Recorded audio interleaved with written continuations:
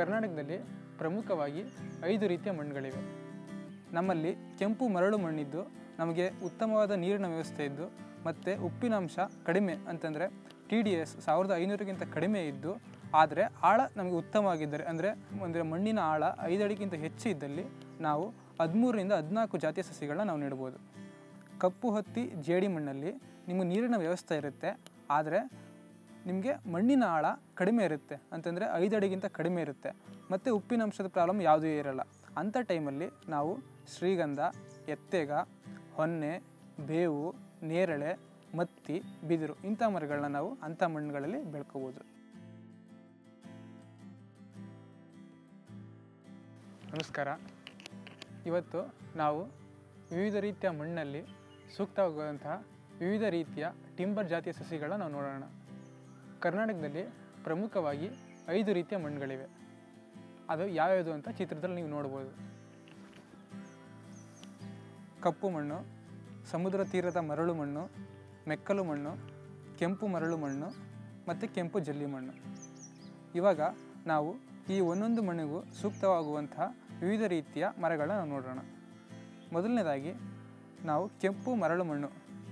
ಇವಾಗ ನಾವು ಕೆಂಪು ಮರಳು ಮಣ್ಣಲ್ಲಿ ನೆಡಬಹುದಂಥ ಒಂದು ಮರಗಳನ್ನ ನೋಡೋಣ.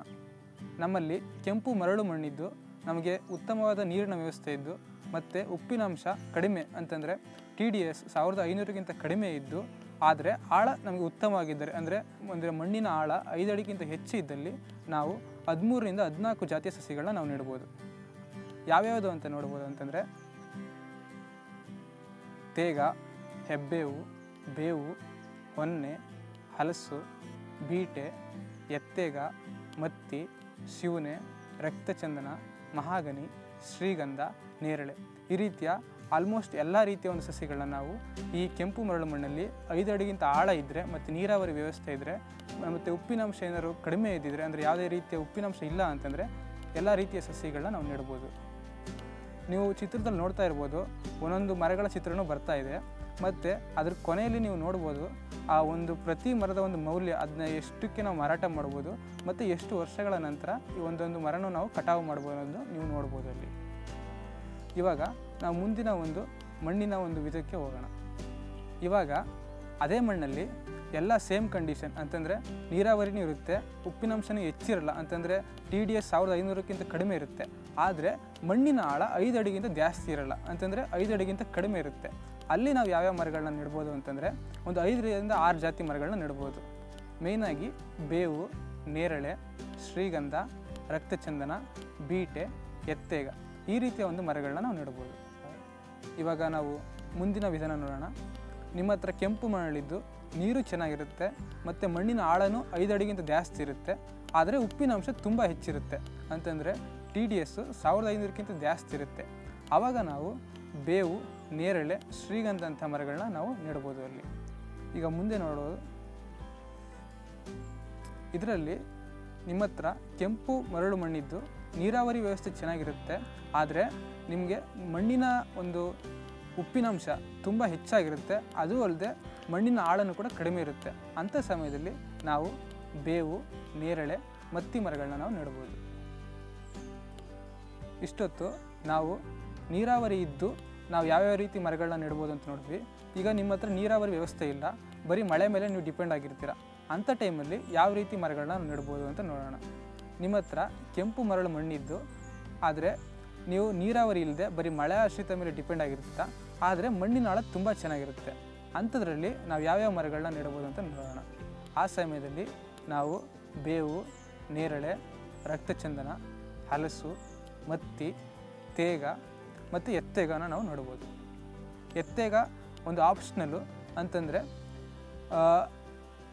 ನೀವು ಇಂಥ ಒಂದು ಮಣ್ಣಿನಲ್ಲಿ ಅದು ಚೆನ್ನಾಗಿ ಬೆಳೆದರೂ ಬೆಳಿಬೋದು, ಬೆಳೆದೇನೂ ಇರ್ಬೋದು.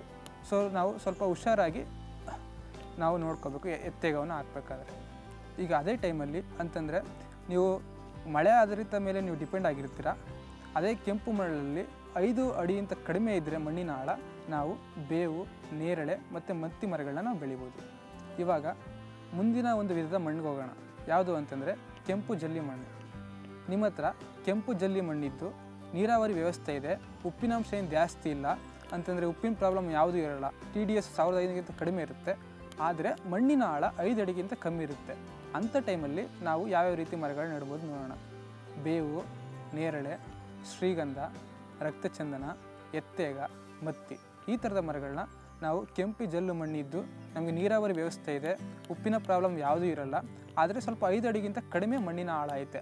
ಅಂಥ ಟೈಮಲ್ಲಿ ನಾವು ಈ ರೀತಿಯ ಸಸಿಗಳನ್ನ ನಾವು ನೆಡ್ಬೋದು ಇವಾಗ ಅದೇ ಕೆಂಪು ಜಲ್ಲಿ ಮಣ್ಣಲ್ಲಿ ನಿಮಗೆ ನೀರಾವರಿ ವ್ಯವಸ್ಥೆನೂ ಇರುತ್ತೆ. ಆದರೆ ಉಪ್ಪಿನ ಅಂಶದ ಪ್ರಾಬ್ಲಮ್ ಇರುತ್ತೆ. ಅಂತಂದರೆ ಟಿ ಡಿ ಎಸ್ ಸಾವಿರದ ಐನೂರಕ್ಕಿಂತ ಹೆಚ್ಚಿರುತ್ತೆ. ಅದಲ್ಲದೆ ನಿಮಗೆ ಮಣ್ಣಿನ ಆಳನ್ನು ಕೂಡ ಚೆನ್ನಾಗಿರಲ್ಲ. ಅಂತಂದರೆ ಐದು ಅಡಿಗಿಂತ ಕಡಿಮೆ ಇರುತ್ತೆ. ಅಂಥ ಟೈಮಲ್ಲಿ ನಾವು ಈ ನಾಲ್ಕು ರೀತಿಯ ಸಸಿಗಳನ್ನ ನಾವು ನೆಡ್ಬೋದು ಬೇವು, ನೇರಳೆ, ಶ್ರೀಗಂಧ ಮತ್ತು ಮತ್ತಿ. ನಾವು ಇಲ್ಲಿ ತನಕ ಕೆಂಪು ಜಲ್ಲಿ ಮಣ್ಣಲ್ಲಿ ನೀರಾವರಿ ಇದ್ದರೆ ಯಾವ್ಯಾವ ರೀತಿಯ ಮರಗಳನ್ನ ನಾವು ಬೆಳಿಬೋದು ಅಂತ ನೋಡಿದ್ವಿ. ಇವಾಗ ಮಳೆ ಆಶ್ರದಲ್ಲಿ ಕೆಂಪು ಜಲ್ಲಿ ಭೂಮಿಯಲ್ಲಿ ಯಾವ್ಯಾವ ರೀತಿಯ ಮರಗಳನ್ನ ನಾವು ಬೆಳಿಬೋದು ಅಂತ ನೋಡೋಣ. ನಿಮ್ಮ ಹತ್ರ ಕೆಂಪು ಜಲ್ಲಿ ಭೂಮಿ ಇದ್ದು, ನೀವು ಮಳೆ ಮೇಲೆ ಮಾತ್ರ ಒಂದು ಡಿಪೆಂಡ್ ಆಗಿದ್ದು, ಮಣ್ಣಿನ ಆಳ ಐದು ಅಡಿಗಿಂತ ಕಡಿಮೆ ಇದ್ದರೆ ನಾವು ಅಲ್ಲಿ ಬೇವು, ನೇರಳೆ, ಶ್ರೀಗಂಧ, ರಕ್ತಚಂದನ ಮತ್ತು ಮತ್ತಿ ಮರಗಳನ್ನ ನಾವು ಬೆಳ್ಕೋಬೋದು. ಇವಾಗ ನಾವು ಮುಂದಿನ ಒಂದು ಮಣ್ಣಿನ ಬಗೆಯನ್ನು ನೋಡೋಣ. ನಿಮ್ಮ ಹತ್ರ ಕಪ್ಪು ಹತ್ತಿ, ಜೇಡಿ ಮಣ್ಣಿದ್ದು. ನಿಮಗೆ ನೀರಾವರಿ ವ್ಯವಸ್ಥೆನೂ ಚೆನ್ನಾಗಿದೆ. ಉಪ್ಪಿನ ಅಂಶದ ಪ್ರಾಬ್ಲಮ್ ಯಾವುದೂ ಇಲ್ಲ. ಅಂತಂದರೆ ಟಿ ಡಿ ಎಸ್ ಸಾವಿರದ ಐನೂರಿಗಿಂತ ಕಡಿಮೆ ಇರುತ್ತೆ. ಮತ್ತು ಮಣ್ಣಿನ ಆಳನೂ ಚೆನ್ನಾಗಿರುತ್ತೆ. ಅಂತಂದರೆ ಮಣ್ಣಿನ ಆಳ ಐದು ಅಡಿಗಿಂತ ಜಾಸ್ತಿ ಇರುತ್ತೆ. ಆ ಟೈಮಲ್ಲಿ ಯಾವ್ಯಾವ ರೀತಿಯ ಸಸಿಗಳನ್ನ ಇದೆ ಅಂತ ನಾವು ನೋಡೋಣ. ಸೊ, ಆ ಟೈಮಲ್ಲಿ ನಾವು ತೇಗ, ಹೆಬ್ಬೇವು, ಬೇವು ಹೊನ್ನೆ ಹಲಸು, ಬೀಟೆ ಎತ್ತೇಗ, ಮತ್ತಿ, ಶಿವಾನಿ ಮಹಾಗನಿ ರಕ್ತಚಂದನ, ನೇರಳೆ ಈ ರೀತಿಯ ಒಂದು ಸಸಿಗಳನ್ನ ನಾವು ನೆಡಬಹುದು. ನೀವು ನೋಡ್ತಾ ಇರ್ಬೋದು ಕೆಳಗಡೆ ಪ್ರತಿಯೊಂದು ಮರದ ಒಂದು ಮೌಲ್ಯ ಅಂದರೆ ಅದು ಎಷ್ಟು ಬೆಲೆ ಬಾಳುತ್ತೆ ಅಂತ ಕೊಟ್ಟಿದ್ದಾರೆ. ಮತ್ತು ಒಂದೊಂದು ಮರನು ಎಷ್ಟು ವರ್ಷಗಳ ನಂತರ ನಾವು ಕಟಾವು ಮಾಡ್ಬೋದು ಅಂತಲೂ ನೀವು ನೋಡ್ಬೋದು ಅಲ್ಲಿ. ಇವಾಗ ಅದೇ ಮಣ್ಣಲ್ಲಿ ಅಂತಂದರೆ ಕಪ್ಪು ಹತ್ತಿ ಜೇಡಿ ಮಣ್ಣಲ್ಲಿ ನಿಮಗೆ ನೀರಿನ ವ್ಯವಸ್ಥೆ ಇರುತ್ತೆ. ಆದರೆ ನಿಮಗೆ ಮಣ್ಣಿನ ಆಳ ಕಡಿಮೆ ಇರುತ್ತೆ ಅಂತಂದರೆ ಐದು ಅಡಿಗಿಂತ ಕಡಿಮೆ ಇರುತ್ತೆ. ಮತ್ತು ಉಪ್ಪಿನಂಶದ ಪ್ರಾಬ್ಲಮ್ ಯಾವುದೂ ಇರಲ್ಲ. ಅಂಥ ಟೈಮಲ್ಲಿ ನಾವು ಶ್ರೀಗಂಧ, ಎತ್ತೇಗ, ಹೊನ್ನೆ, ಬೇವು, ನೇರಳೆ, ಮತ್ತಿ, ಬಿದಿರು ಇಂಥ ಮರಗಳನ್ನ ನಾವು ಅಂಥ ಮಣ್ಣುಗಳಲ್ಲಿ ಬೆಳ್ಕೋಬೋದು. ಇವಾಗ ಅದೇ ಮಣ್ಣಲ್ಲಿ ಅಂತಂದರೆ ಕಪ್ಪು, ಹತ್ತಿ, ಜೇಡಿ ಮಣ್ಣಲ್ಲಿ ನಿಮಗೆ ನೀರಾವರಿ ವ್ಯವಸ್ಥೆ ಇದೆ. ಮತ್ತು ಮಣ್ಣಿನ ಆಳನೂ ಚೆನ್ನಾಗೈತೆ. ಆದರೆ ಉಪ್ಪಿನ ಅಂಶ ಪ್ರಾಬ್ಲಮ್ ಆಗೈತೆ ಅಂತಂದರೆ ಟಿ ಡಿ ಎಸ್ ಸಾವಿರದ ಐನೂರಕ್ಕಿಂತ ಹೆಚ್ಚೈತೆ. ಅಂದರೆ ಉಪ್ಪಿನ ಅಂಶ ಜಾಸ್ತಿ ಇದೆ. ಅಂಥ ಟೈಮಲ್ಲಿ ನಾವು ಶ್ರೀಗಂಧ, ಬೇವು, ನೇರಳೆ, ಮತ್ತಿ, ಮತ್ತು ಬಿದಿರು ಅಂತಹ ಮರಗಳನ್ನ ನಾವು ಬೆಳ್ಕೋಬೋದು ಅದೇ ಮಣ್ಣು ಅಂತಂದರೆ ಕಪ್ಪು ಹತ್ತಿ ಜೇಡಿ ಮಣ್ಣಲ್ಲಿ ನೀರಾವರಿ ವ್ಯವಸ್ಥೆ ಇದೆ.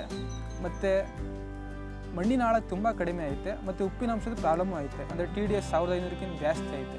ಅಂಥ ಟೈಮಲ್ಲಿ ನಾವು ಬೇವು, ನೇರಳೆ ಮತ್ತು ಮತ್ತಿ ಮರಗಳನ್ನ ನಾವು ಬೆಳ್ಕೋಬೋದು ನಿಮ್ಮ ಹತ್ರ ಕಪ್ಪು ಹತ್ತಿ ಮಣ್ಣಿದ್ದು, ನಿಮಗೆ ನೀರಾವರಿ ವ್ಯವಸ್ಥೆ ಯಾವುದೂ ಇಲ್ಲ. ಬರೀ ಮಳೆ ಮೇಲೆ ಡಿಪೆಂಡ್ ಆಗಿರ್ತೀರ?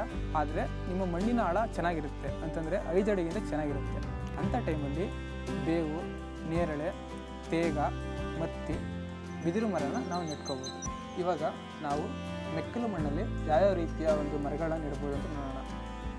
ಅದರಲ್ಲಿ ತೇಗ, ಹೆಬ್ಬೇವು, ಬೇವು ಹೊನ್ನೆ ಹಲಸು, ಬೀಟೆ, ಎತ್ತೇಗ, ಮತ್ತಿ, ಶಿವನೆ, ರಕ್ತಚಂದನ ಮಹಾಗನಿ ಶ್ರೀಗಂಧ ಇಂತಹ ಮರಗಳನ್ನ ನೆಡ್ಬೋದು. ನಿಮ್ಮ ಹತ್ರ ಒಂದು ಸರಿಯಾದ ಡ್ರೈನೇಜ್ ಅಂತಂದರೆ ಬಸಿಗಾಲುವೆ ಇದ್ದಲ್ಲಿ, ನೀರೆಲ್ಲ ನಿಂತ್ಕೊಳ್ಳದೆ ಇದ್ದರೆ ಅಲ್ಲಿ ನಾವು ನೇರಳೆ ಕೂಡ ನಾವು ನೆಡ್ಬೋದು.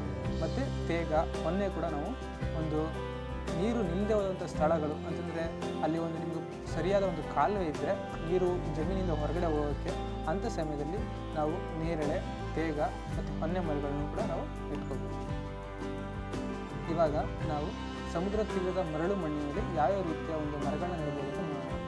ಅದರಲ್ಲಿ ತೇಗ, ಹೆಬ್ಬೇವು, ಬೇವು ಹೊನ್ನೆ ಹಲಸು, ಬೀಟೆ, ಎತ್ತೇಗ, ಮತ್ತಿ, ಶಿವನೆ, ರಕ್ತಚಂದನ, ಮಹಾಗಣಿ, ಶ್ರೀಗಂಧ ಈ ರೀತಿ ಎಲ್ಲ ರೀತಿಯಾದಂಥ ಒಂದು ಮರಗಳನ್ನ ನಾವು ನೋಡ್ಬೋದು. ಆದರೆ ನಮ್ಮ ಹತ್ರ ಈ ಸಮುದ್ರ ತೀರದ ಮರಳು ಅಂತ ಅಂಥ ಮಣ್ಣಲ್ಲಿ ಸರಿಯಾದ ಬಸಿಗಾಲುವೆ ಮತ್ತು ಹೊದಿಕೆ ಇರಬೇಕು. ಅಂತಂದರೆ ಅಲ್ಲಿ ಒಂದು ಮಣ್ಣಲ್ಲಿ ಯಾವುದೇ ರೀತಿಯ ನೀರು ಮುಟ್ಕೋಬಾರ್ದು ಬದಲಾಗಿ ಅದು ಜಮೀನಿಂದ ಹೊರಗಡೆ ಉಂಟಾಗಬೇಕು ಅಂಥ ಒಂದು ಸ್ಥಿತಿ ಇದ್ದಾಗ ಮಾತ್ರ ನಾವು ಈ ರೀತಿಯ ಒಂದು ಮರಗಳನ್ನು ಇಟ್ಕೋಬೋದು ಮತ್ತು ಹೊದಿಕೆ ಅಂತಂದರೆ ಮಲ್ಚಿಂಗ್ ಯಾವಾಗಲೂ ಕೂಡ ಈ ಸಸಿಗಳ ಅಡಿಯಲ್ಲಿ ಯಾವಾಗಲೂ ನಾವು ಒಂದು ಹೊದಿಕೆನ ಮಾಡ್ಕೋಬೇಕು ಮಲ್ಚಿಂಗ್ ಮಾಡ್ಕೋಬೇಕು ಇವಾಗ ನಾವು ಸುಣ್ಣದ ಮಣ್ಣಲ್ಲಿ ಯಾವ್ಯಾವ ರೀತಿಯ ಸಸಿಗಳನ್ನ ನೆಡ್ಬೋದು ಅಂತ ನೋಡೋಣ. ಸುಣ್ಣದ ಮಣ್ಣಲ್ಲಿ ನಿಮಗೆ ನೀರಿದ್ದರೆ ಅಂತಂದರೆ ಬೋರ್ವೆಲ್ ಅಥವಾ ಬೇರೆ ಯಾವುದಾದಂತಹ ನೀರಿನ ಲಭ್ಯತೆ ಇದ್ದರೆ ಅಂಥ ಟೈಮಲ್ಲಿ ನೀವು ಈ ಸುಣ್ಣದ ಮಣ್ಣಲ್ಲಿ ಬೇವು, ನೇರಳೆ, ಮತ್ತೆ, ಮತ್ತು ಶ್ರೀಗಂಧನ ನಾವು ನೆಟ್ಕೋಬೋದು. ಅದೇ ಸುಣ್ಣದ ಮಣ್ಣಲ್ಲಿ ನಿಮಗೆ ನೀರಿನ ಲಭ್ಯತೆ ಇಲ್ಲ, ಬದಲಾಗಿ ನೀವು ಮಳೆ ಆಶ್ರಿತ ಮೇಲೆ ಡಿಪೆಂಡ್ ಆಗಿರ್ತೀರ. ಅಂಥ ಟೈಮಲ್ಲಿ ನೀವು ಬೇವು ಮತ್ತು ನೇರಳೆ ಮರಗಳನ್ನ ಈ ಸುಣ್ಣದ ಮಣ್ಣಲ್ಲಿ ನೀವು ನೆಟ್ಟಿ ಬೆಳ್ಕೋಬೋದು. ನೋಡಿದ್ರಲ್ಲ ರೈತರೆ, ಇಲ್ಲಿ ತನಕ ನಾವು ಯಾವ್ಯಾವ ರೀತಿಯ ಮಣ್ಣಲ್ಲಿ ಯಾವ್ಯಾವ ರೀತಿಯ ಸಸಿಗಳನ್ನ ನೆಡ್ಬೋದು ಅಂತ ನಾವು ಮುಂದಿನ ವಿಡಿಯೋಗಳಲ್ಲಿ ಮುಂದಿನ ಅಂಶಗಳನ್ನ ನಾವು ನೋಡೋಣ. ನಮಸ್ಕಾರ.